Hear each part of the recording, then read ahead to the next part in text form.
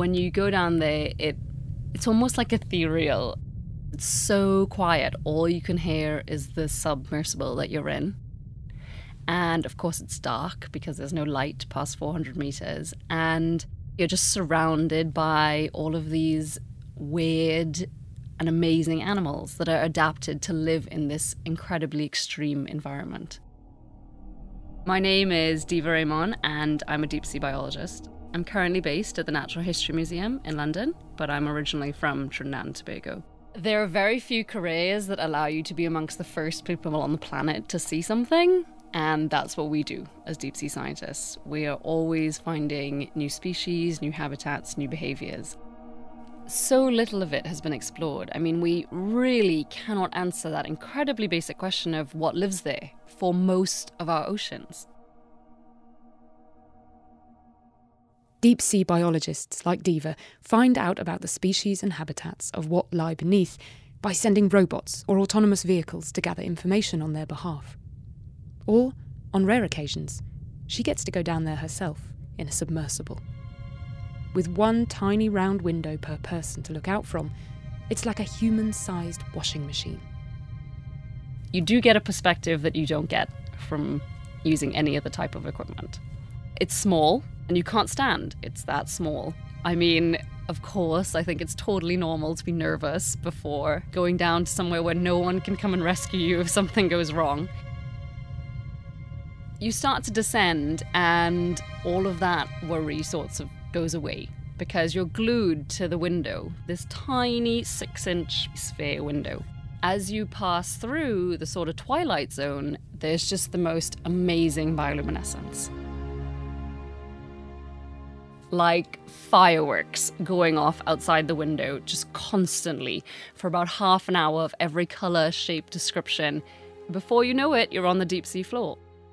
A big part of Diva's work is to understand the threats that the creatures of the deep are facing. Given that resources on land and in shallow waters are dwindling, we now know that certain areas of the deep sea may be targeted for certain types of exploitation.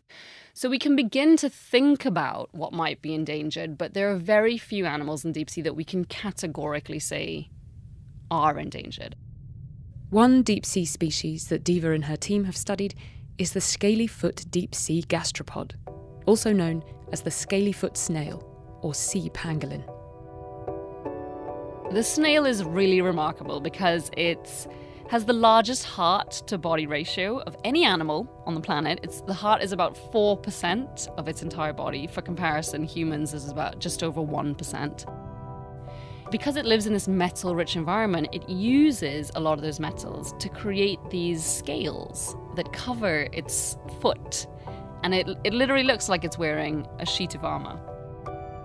It has these bacteria within its body that uses the chemicals coming out of the seafloor where it lives to make its food. The scaly foot snail lives in places we've only just discovered and find almost impossible to get to. And yet, that doesn't stop us causing havoc.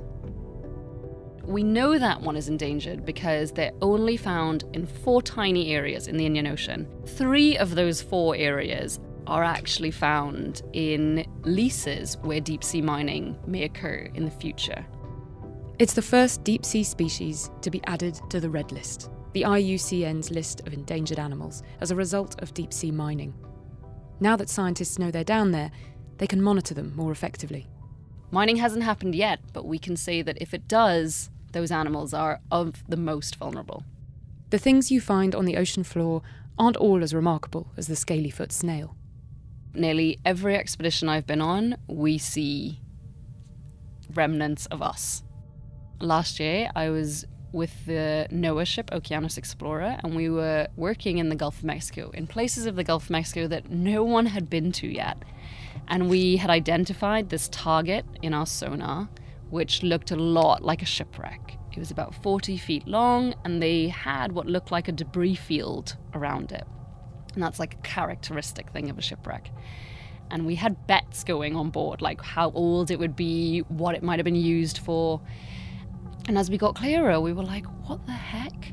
And it turns out it was a shipping container that had obviously fallen off of a ship, in the process, been ripped open, and that debris field was washing machines, fridges, freezers, like dishwashers, just scattered all over the seafloor. And it was the most surreal experience to be working at over one and a half kilometers depth in the deep sea, a part of the deep sea that no one had been to yet, and we're driving through household appliances.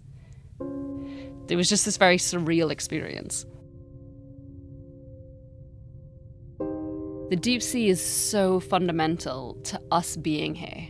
It is absolutely important for these huge global processes that keep our planet habitable. It sequesters carbon and it absorbs heat, plays a massive role in climate regulation. Without our oceans, we would not be able to live here because our planet would be so hot. It cycles nutrients, it detoxifies our seas, and it inspires us. That's something that people forget. And I think if, you know, the deep sea were to go away, we wouldn't be looking at a very bright future at all.